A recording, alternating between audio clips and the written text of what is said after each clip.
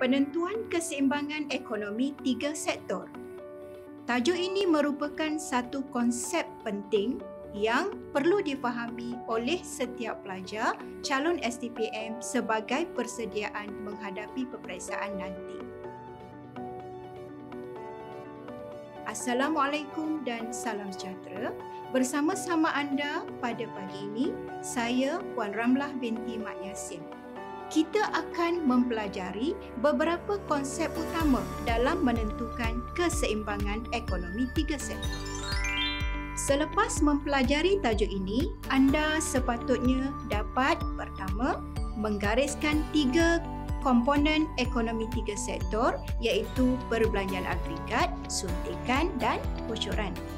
Yang kedua, anda sepatutnya dapat menjelaskan konsep keseimbangan pendapatan berdasarkan pendekatan perbelanjaan agregat pendapatan iaitu AEY dan pendekatan suntikan bocoran iaitu JW. Yang ketiga, anda sepatutnya juga dapat menjelaskan bagaimana keseimbangan ekonomi tiga sektor boleh tercapai. Yang keempat, iaitu yang terakhir sekali, anda sepatutnya dapat mengilustrasi bagaimana penentuan keseimbangan ekonomi tiga sektor menggunakan dua kaedah utama iaitu yang pertama menggunakan kaedah persamaan dan yang kedua menggunakan kaedah gambar raja. Baiklah para pelajar, Pertama sekali, kita akan mengenal pasti pendekatan yang digunakan untuk menentukan keseimbangan ekonomi tiga sektor. Terdapat dua pendekatan utama iaitu menggunakan pendekatan YAE iaitu pendekatan perbelanjaan agregat dan seterusnya yang kedua menggunakan pendekatan suntikan bocoran iaitu JW.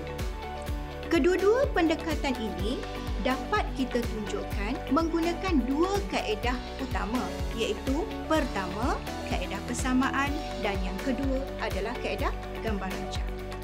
Baiklah pelajar, pertama sekali saya akan tunjukkan pendekatan YAE. Pendekatan ini boleh digunakan untuk menentukan keseimbangan ekonomi tiga sektor menggunakan dua kaedah tadi iaitu kaedah persamaan dan satu lagi kaedah gambar raja. Yang pasti kedua-dua kaedah ini akan menghasilkan jawapan yang sama. Baiklah pelajar, menggunakan kaedah persamaan AEY. Yang penting sekali anda perlu mengetahui apa itu syarat keseimbangan AEY. Syarat keseimbangannya ialah AS sama dengan AE. Sebagaimana yang anda sedia maklum, AS bersamaan dengan Y. Manakala AE atau perbelanjaan agregat ekonomi tiga sektor pula terdiri daripada C iaitu penggunaan, I iaitu pelaburan dan G iaitu perbelanjaan kerajaan. Maka terhasillah persamaannya AE sama dengan C campur I campur G. Oleh itu, tingkat keseimbangan pendapatan negara yang terhasil ialah Y sama dengan C campur I campur G. Sekarang saya akan jelaskan pula bagaimana penentuan keseimbangan pendapatan negara menggunakan kaedah persamaan yang penting kita perlu tahu apa itu syarat keseimbangan. Sebagaimana yang saya jelaskan tadi, syarat keseimbangan ialah Y sama dengan C campur I campur J.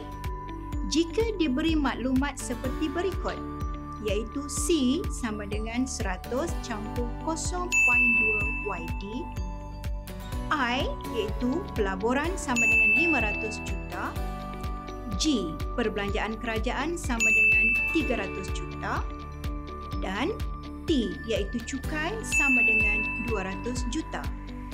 Jadi sekarang kita akan menentukan nilai pendapatan negara pada tingkat keseimbangan. pertama sekali pelajar, kita akan mas- masukkan maklumat-maklumat yang diberi ke dalam persamaan syarat keseimbangan tadi iaitu Y sama dengan C campur I campur G. Maka di sini akan terhasillah Y sama dengan 100 campur 0.2 Y tolak T yang mewakili C campur I campur G. Seterusnya, kita akan masukkan nilai Y sama dengan 100 campur 0.2 Y tolak 200 campur pelaburan iaitu 500 campur perbelanjaan kerajaan iaitu 300. Didapati Y sama dengan 100 campur 0.2Y tolak 40 campur 800. Maka Y sama dengan 0.2Y tolak 860. Jadi Y tolak 0.2 bersamaan 860. Maka 0.8Y sama dengan 860 dan apabila Y dibahagikan dengan 0.8 maka terhasillah pendapatan keseimbangan kita iaitu RM1075 juta. Baiklah pelajar, sekarang saya akan tunjukkan bagaimana penentuan keseimbangan pendapatan negara menggunakan kaedah gambar rajah pula. Pertama sekali, anda perlu lukis gambar rajah dengan tepat. Pada paksi Y, kita akan lukis kelok perbelanjaan agregat iaitu AE. Pada paksi X pula, kita akan lukis kelok pendapatan negara iaitu semestinya Y. Jangan lupa labelkan dengan tepat ya pelajar.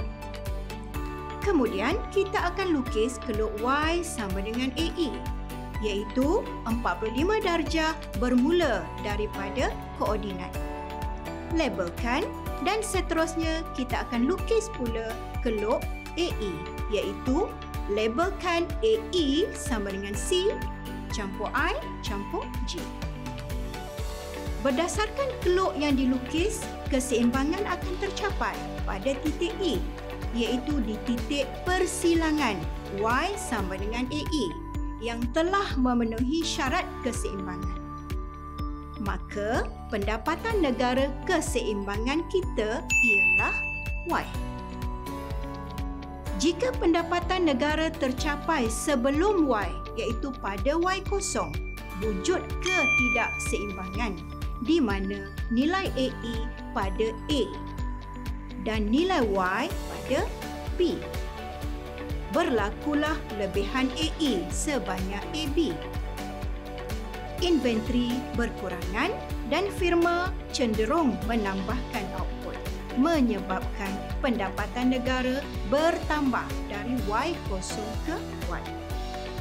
Jika pendapatan negara tercapai selepas Y iaitu pada Y1, wujud ketidakseimbangan di mana nilai AE pada F dan nilai Y pada G.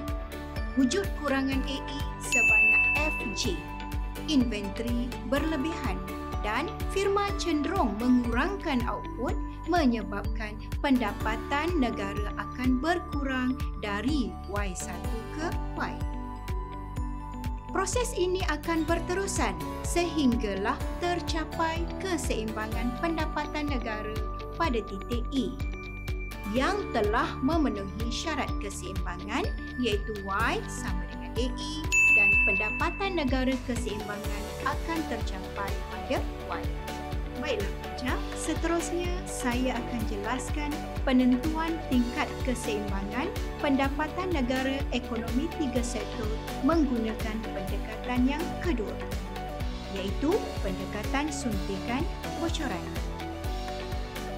Pendekatan ini juga boleh ditunjukkan menggunakan dua kaedah utama iaitu menggunakan kaedah persamaan dan juga kaedah gambar raja. Yang pasti pelajar, kedua-dua kaedah ini akan menghasilkan jawapan yang sama. Sekarang saya akan jelaskan penentuan keseimbangan menggunakan kaedah persamaan, bocoran dan suntikan. Anda perlu mengetahui apakah itu syarat keseimbangan suntikan bocoran. Syarat keseimbangan suntikan bocoran ialah W sama dengan J iaitu suntikan sama dengan bocoran. Apakah komponen bocoran dalam ekonomi tiga sektor? Ya, komponen bocoran ekonomi tiga sektor terdiri daripada S iaitu tabungan dan T iaitu cukai. Maka W iaitu bocoran bersamaan dengan S campur T. Manakala suntikan dalam ekonomi tiga sektor ialah I iaitu pelaburan dan G iaitu perbelanjaan kerajaan. Maka J iaitu suntikan sama dengan I campur G. Di sini kita dapati persamaan keseimbangan suntikan bocoran ialah S campur T bersamaan dengan I campur G. Baiklah pelajar, sekarang saya akan terangkan pula bagaimana kaedah persamaan bocoran dan suntikan untuk memenuhi penentuan keseimbangan pendapatan ekonomi tiga sektor. Sebagaimana yang saya terangkan syarat keseimbangan ialah S campur T sama dengan I campur G. Jika diberi persamaan suntikan seperti berikut, iaitu S sama dengan negatif 100 campur 0.8 YD.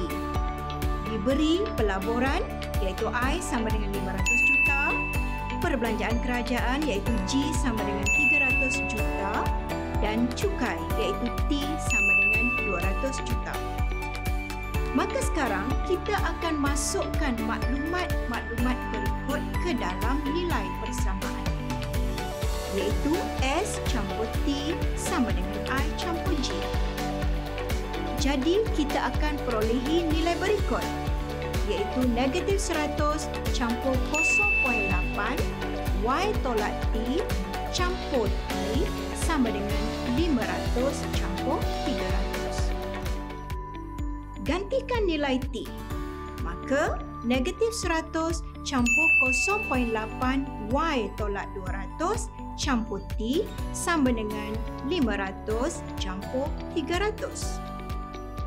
Negatif 100 campur 0.8 Y tolak 160 campur 200 sama dengan 800. 0.8Y bersamaan dengan 800 campur 100 campur 160 tolak 200 maka 0.8Y bersamaan 860. Y sama dengan 860 dibahagi dengan 0.8 maka kita akan perolehi pendapatan negara keseimbangan sebanyak RM1075 juta. Menggunakan kaedah gambar rajah pula, kita perlu lukis gambar rajah keseimbangan suntikan bocoran dengan tepat. Mula-mula anda perlu lukis paksi Y mewakili S campur T manakala paksi X mewakili pendapatan negara iaitu Y labelkan koordinat. Kemudian anda perlu lukis keluk bocoran iaitu W bersamaan S campur T. Seterusnya, keluk suntikan iaitu J sama dengan I campur G. Maka keseimbangan berlaku apabila keluk bocoran bersilang dengan keluk suntikan iaitu di titik keseimbangan E pada tingkat pendapatan negara Y. Jika pendapatan negara kurang daripada Y iaitu di Y kosong, didapati suntikan iaitu di titik A manakala bocoran di titik B.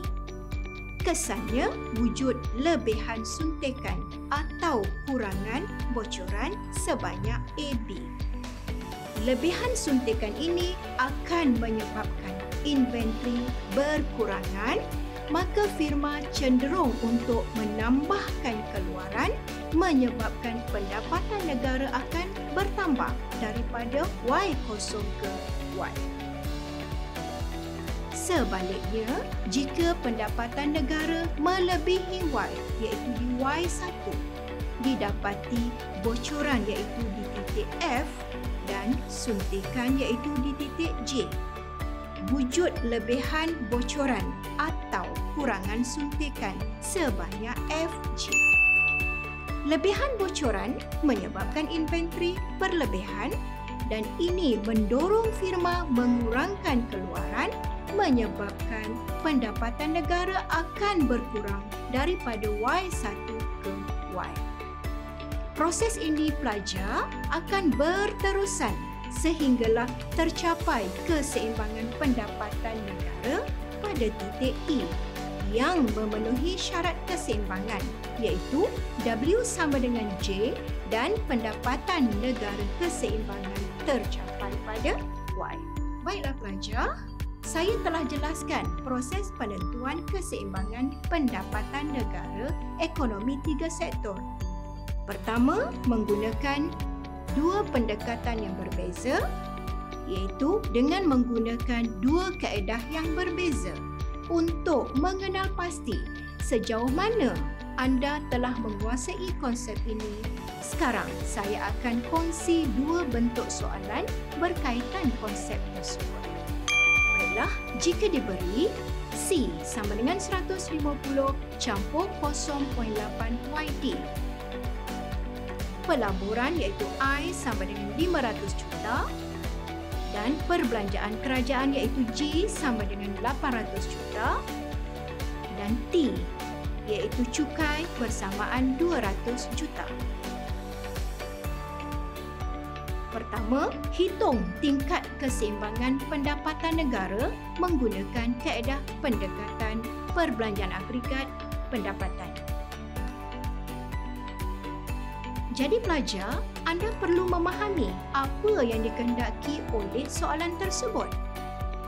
Di sini, soalan memerlukan anda menunjukkan bagaimana keseimbangan pendapatan negara boleh dihitung dengan menggunakan pendekatan perbelanjaan agregat pendapatan iaitu AEY berdasarkan kaedah persamaan.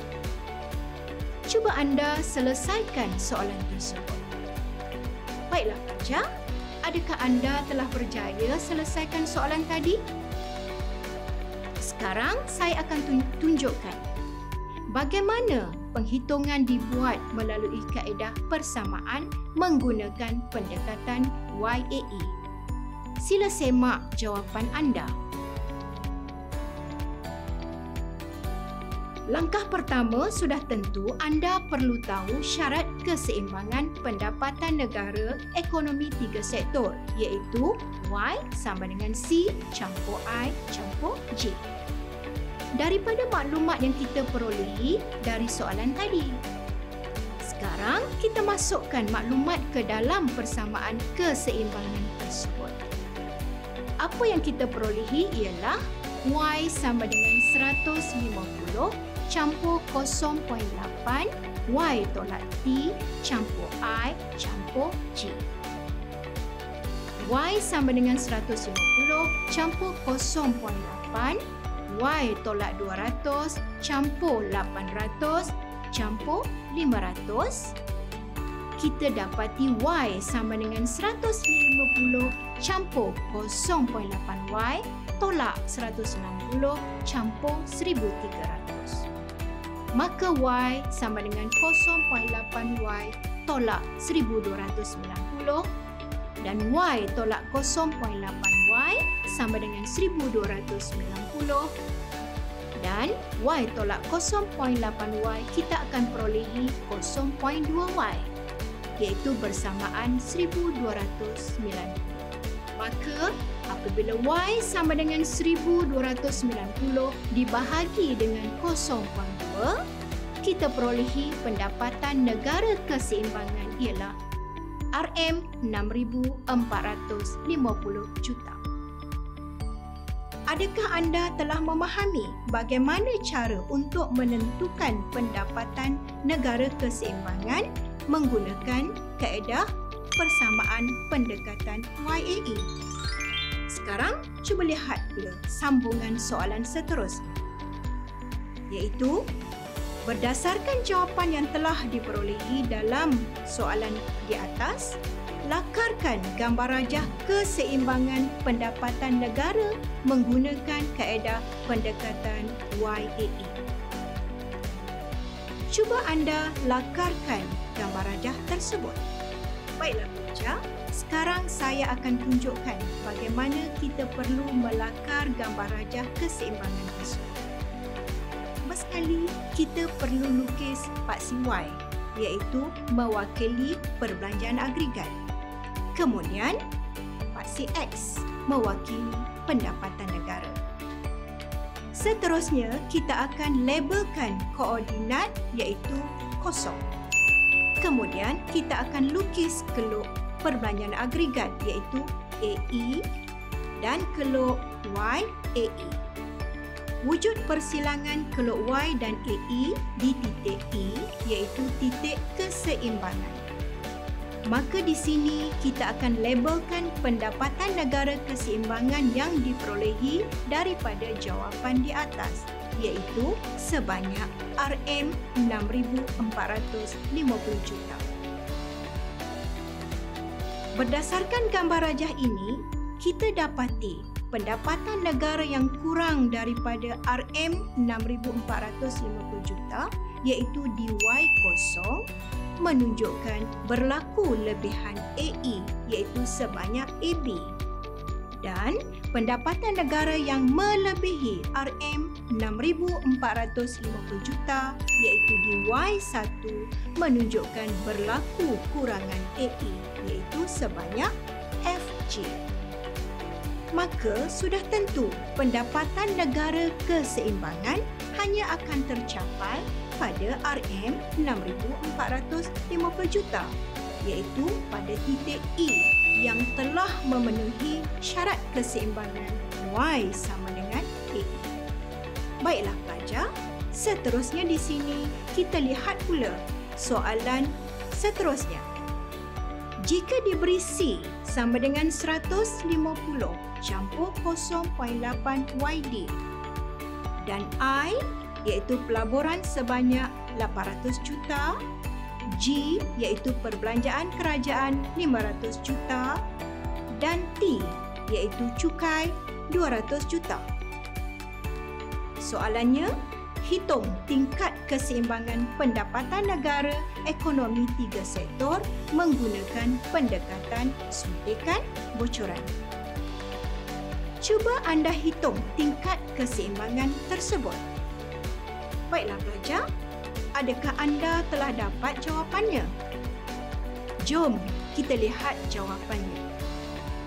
Sebelum kita hitung keseimbangan pendapatan negara menggunakan persamaan suntikan bocoran, maka kita perlu tahu apa itu syarat keseimbangan tersebut. Ya, syarat keseimbangan suntikan bocoran ialah S campur T sama dengan I campur J. Di sini, kita akan dapati maklumat yang diberi adalah persamaan penggunaan iaitu C sama dengan 150 campur 0.8 YD, pelaburan iaitu I 800 juta, perbelanjaan kerajaan iaitu G 500 juta dan cukai iaitu T 200 juta. Tetapi kita kena ingat Soalan meminta kita menghitung tingkat keseimbangan pendapatan negara menggunakan pendekatan suntikan bocoran. Jadi pelajar, apa yang kita perlu lakukan sekarang? Ya, pertama sekali kita perlu terbitkan persamaan suntikan daripada persamaan penggunaan yang diberi. Iaitu daripada persamaan penggunaan kita terbitkan persamaan suntikan menjadi S sama dengan negatif 150 campur 0.2 YT. Berdasarkan maklumat yang kita perolehi daripada soalan tadi, Seterusnya, kita masukkan nilai-nilai yang diberi ke dalam persamaan keseimbangan S campur T sama dengan I campur J. Maka kita perolehi S sama dengan negatif 150 campur 0.2 Y tolak T. Campur T iaitu 200 sama dengan I campur J iaitu bersamaan 800 campur 500 maka negatif 150 campur 0.2y tolak 40 campur 200 bersamaan 1300 iaitu 0.2y sama dengan 1300 campur 150 campur 40 tolak 200 kita akan perolehi 0.2y bersamaan 1290 dan apabila y dibahagikan dengan 0.2 kita akan perolehi nilai keseimbangan pendapatan negara iaitu RM6450 juta. Kesimpulannya pelajar, kita dapati sama ada menggunakan pendekatan AAY ataupun pendekatan suntikan bocoran, ia akan memperolehi jawapan yang sama. Baiklah pelajar, sekarang cuba kita lihat pula soalan yang terakhir sekali. Berdasarkan jawapan di atas, lakarkan gambar rajah keseimbangan pendapatan negara ekonomi tiga sektor menggunakan pendekatan suntikan bocoran. Jom sama-sama kita tengok bagaimana cara untuk melakar gambar rajah tersebut. Mula-mula sekali kita lukis paksi Y iaitu mewakili S dan T. Labelkan koordinat iaitu kosong Kemudian kita lukis paksi X mewakili pendapatan negara iaitu Y. Seterusnya, kita akan lukis kelok bocoran iaitu W bersamaan S campur T dan kelok suntikan iaitu J bersamaan I campur J. Maka kita dapati keseimbangan tercapai pada titik E iaitu apabila suntikan sama dengan bocoran maka di sini kita akan labelkan pendapatan negara keseimbangan yang diperolehi daripada jawapan di atas iaitu sebanyak RM6450 juta. Berdasarkan gambar rajah ini, kita dapati pendapatan negara yang kurang daripada 6450 juta iaitu di Y0 akan menunjukkan berlaku lebihan suntikan sebanyak AB dan pendapatan negara yang melebihi 6,450 juta iaitu di Y1 menunjukkan berlaku kurangan suntikan iaitu sebanyak FG. Maka sudah tentu pendapatan negara keseimbangan hanya akan tercapai pada RM6,450 juta iaitu pada titik E yang telah memenuhi syarat keseimbangan suntikan sama dengan bocoran. Kesimpulannya pelajar, untuk menentukan tingkat keseimbangan pendapatan negara ekonomi tiga sektor, kita boleh menggunakan dua pendekatan iaitu sama ada pendekatan YAE ataupun pendekatan JW. Kedua-dua pendekatan ini boleh kita tunjukkan sama ada menggunakan kaedah persamaan atau kaedah gambar rajah. Yang pasti, jawapan yang akan kita perolehi adalah sama. Sekian dari saya kali ini, semoga para pelajar dapat memahami bagaimana cara untuk menentukan pendapatan negara keseimbangan ekonomi tiga sektor. Akhir kata dari saya, terima kasih. Ekonomi satu visi pasti ada solusi dan semoga kita jumpa lagi. Assalamualaikum dan salam sejahtera.